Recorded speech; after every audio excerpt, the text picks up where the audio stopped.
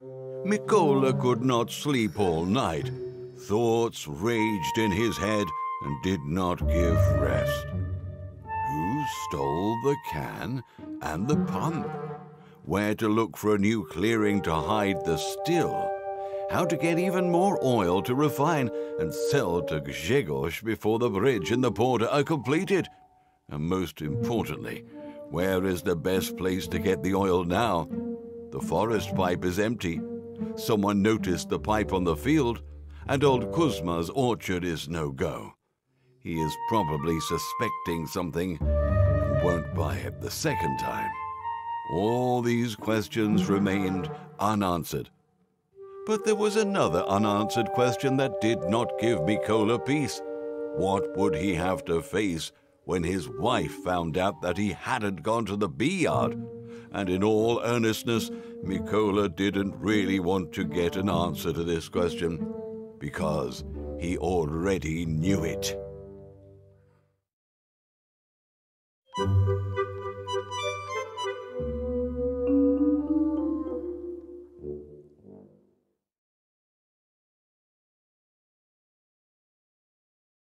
To avoid quarreling with his wife, Mikola decided to quietly go to the bee yard before she woke up.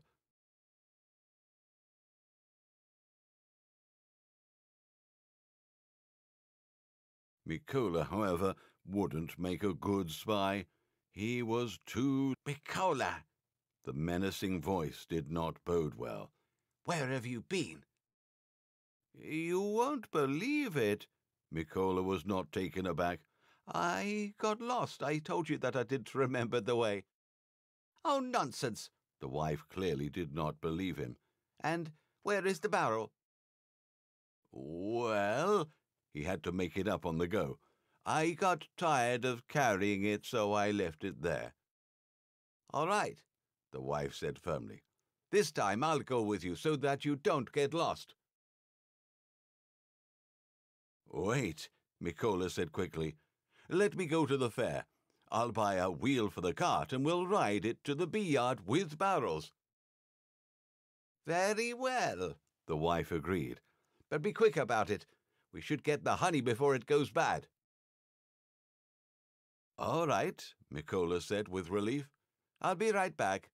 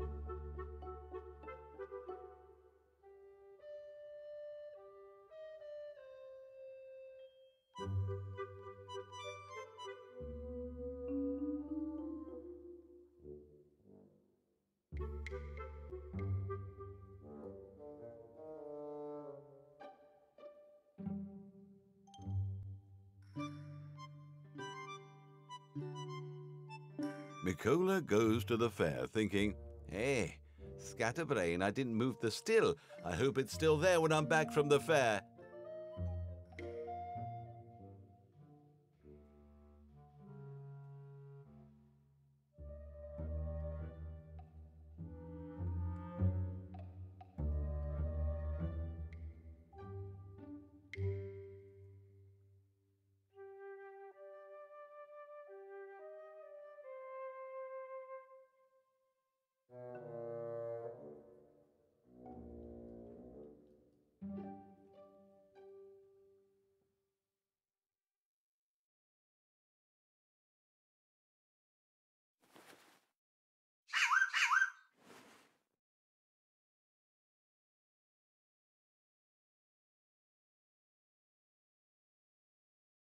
While Mikola was thinking about the still, he noticed that the man walking towards him was his dear friend Serunia.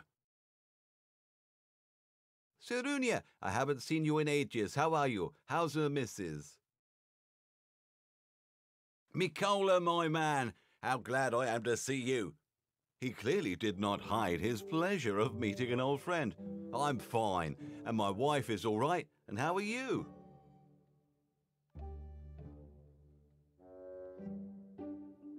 I'm all right too, replied Mikola. And Serunia, what are you doing here? And dress smartly, I see. I, are you heading to a party? Oh, I have no time for your jokes now, Mikola. Serunia suddenly turned sullen and added in a disturbed voice, No time for jokes at all. Looks like you don't know anything yet. What am I supposed to know? inquired Mikola cautiously. Oh, oh, geezer, replied Serunia sadly. Oh, our friend, he's gone. Afanasi? asked Mikola worriedly. Gone? How? Gone when? Gone where? Well, you see, Serunia explained thoughtfully, there is a story. He was visiting me the other day, and my wife treated him to some foreign dish. I don't even remember what it's called, and so uh, he liked this dish so much that he asked my wife for the recipe so he could cook it himself. You know, Afanasi is a gourmet.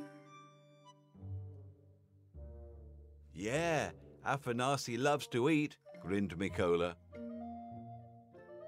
So, Serunia continued, to cook it, you need pickled beets. But in our village, you know, nobody makes it. So Geezer went looking for it and Nobody had seen him since.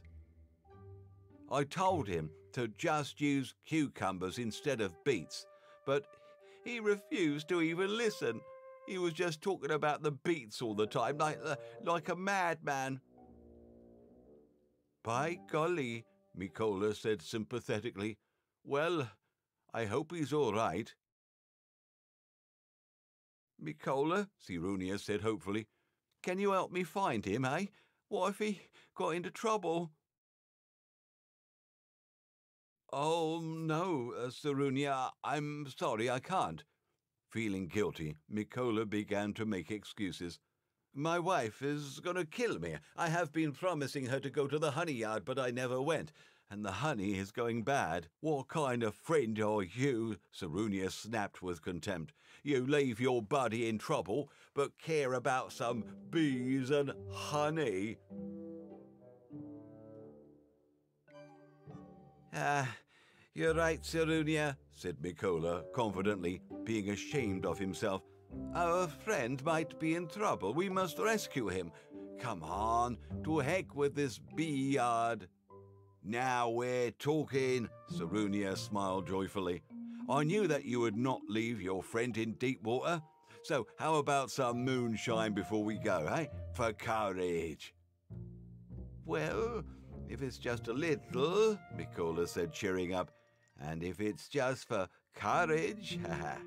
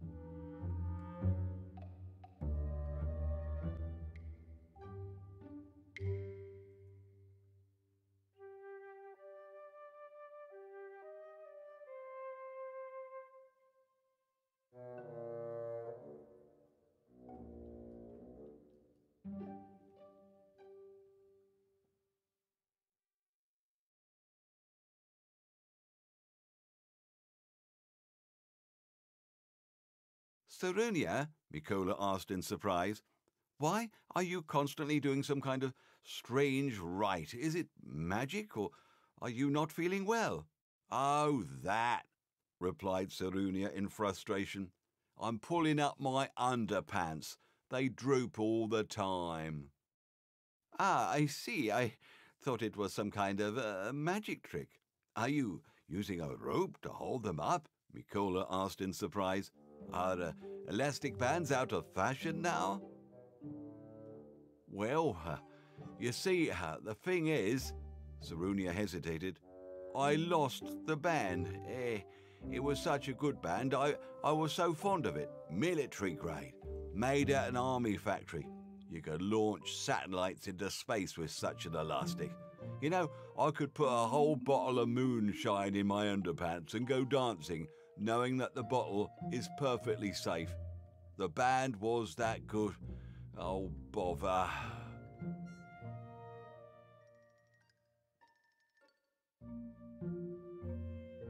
Oh, by the way, I happen to have an extra elastic band, said Mikola, taking the band out of his pocket. Here you go. Wow, it's almost like mine, Sarunia rejoiced. Thank you, friend. You don't say, Mikola was surprised, then realized something. I think I know where you lost your band. Did you come to the clearing behind my barn with some shady guy? What are you saying, Mikola? Sarunia said aggrievedly. We are friends, aren't we? Well, all right then, said Mikola. Let's be on our way. Wait a sec, Mikola. Sarunia stopped him. I need to test the band.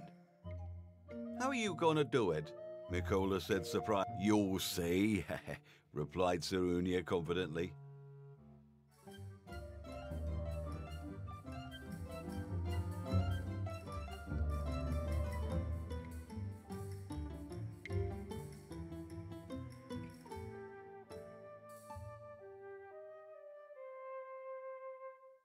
I say, it's as reliable as mine, Sarunia said joyfully, breathing heavily after the dance. A great band.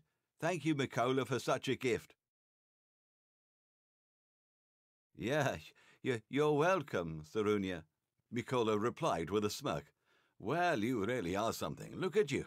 All right, let's go.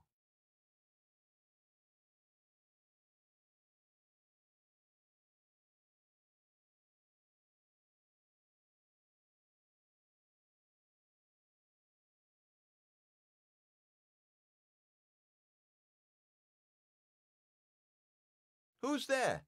Mikola yelled in surprise when he heard some voices in the ravine. There is no one here, replied a startled voice from the darkness. What do you want? Afanasi. Is that you? exclaimed Mikola in surprise. Well, let's say it's me, a voice from the dark replied a little more confidently. And who the heck are you? The one who, along with Sarunia, is looking for you, fool, all around the neighborhood, said Mikola angrily. What are you, Mikola? Is that you? Geezer was delighted. Well, I've met some friends here. We're having a meal. Well, we're almost done. Uh, by George, Mikola said, not hiding his surprise. And what the heck are you eating there in the ravine? Ah, well, Afanasi was taken aback. We're eating sauerkraut, yeah. You really did a number here. Mikola was stupefied to hear a horse neighing. Geezer, quit eating whatever it is and come up here.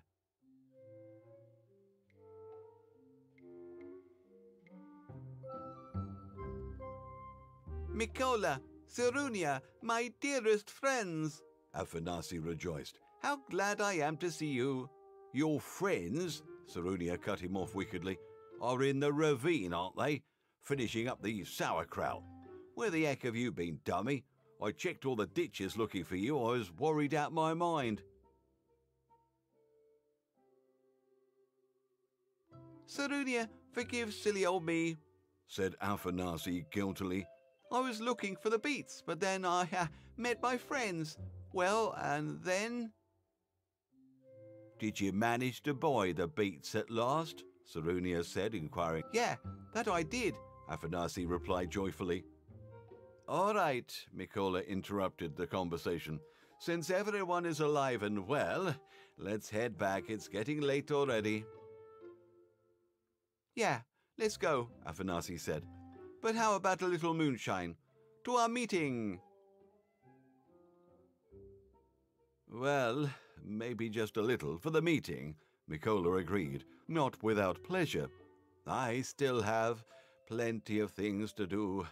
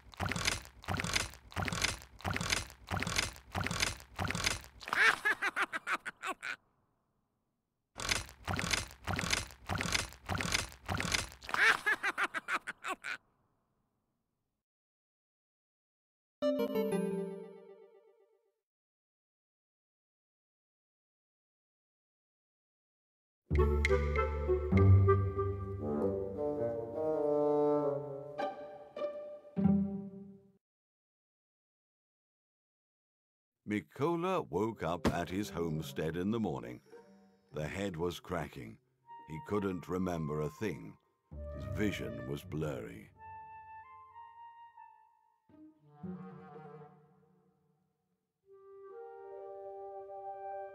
Ah, uh, uh, I'll be, Mikola muttered sullenly.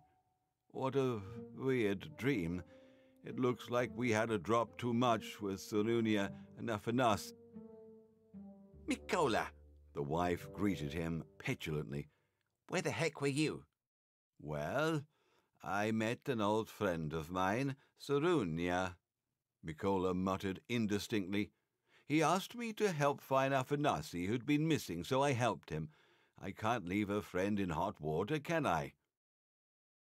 I see what you helped him with, Irritation and acrimony were strong in her voice. Exhausted after so much helping, are you? Don't be mad, Mikola began to beg pitifully. These are my friends. I know you're good for nothing friends, the wife said. Have you bought the wheel at least? Uh, no. Mikola tried to make his voice tragic. I was rescuing a friend. What do you mean, no? The wife was getting angrier by the minute. How are we supposed to go to the honey yard? The honey will go bad. Calm down, Mikola said, as affectionately as he could manage. I'll go to the fair real quick and buy a wheel. I heard this story yesterday. His spouse was really angry. I promise, Mikola spoke with greater confidence. I'll be back in no time. Oh, all right, the woman agreed, abating a little. Off you go then, and be quick about it.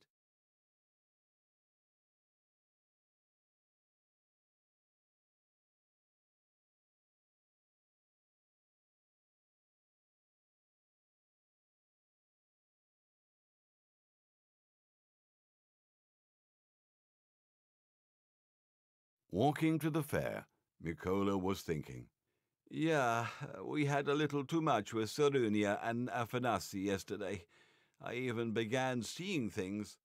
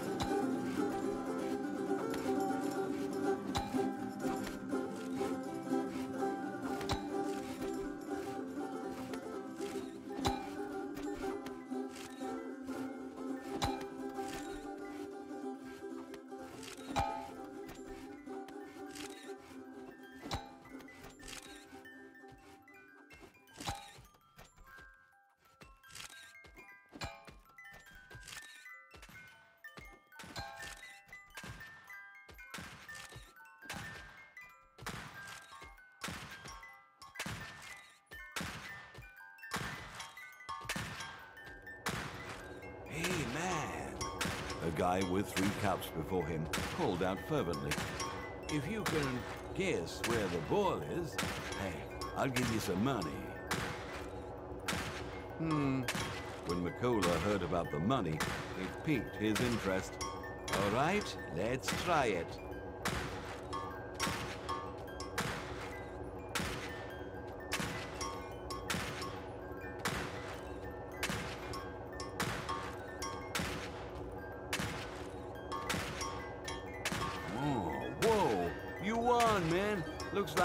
Lucky fella.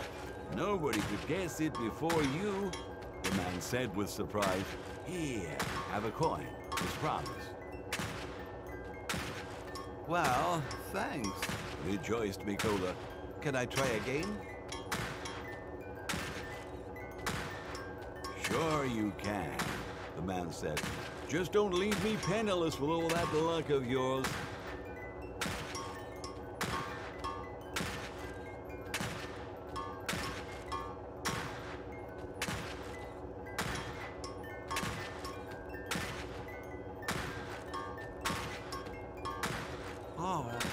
Again, Mikola said happily.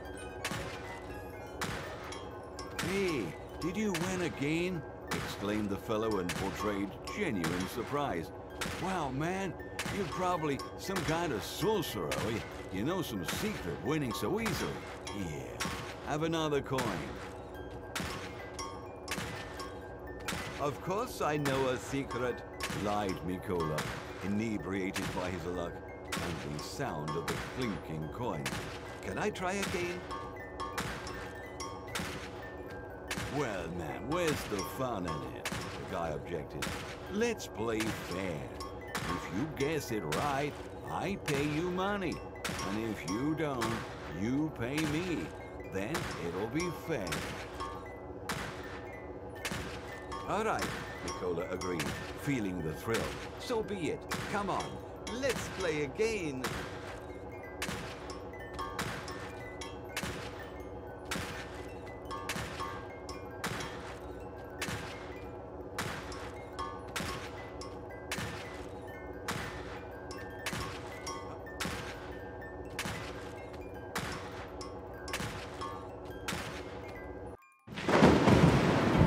Mikola was walking back from the fair, completely crestfallen. What have I done? All the money that I had saved up for the bank, I lost everything. I had to save up just a bit more, and I could have saved the homestead. And now, oh.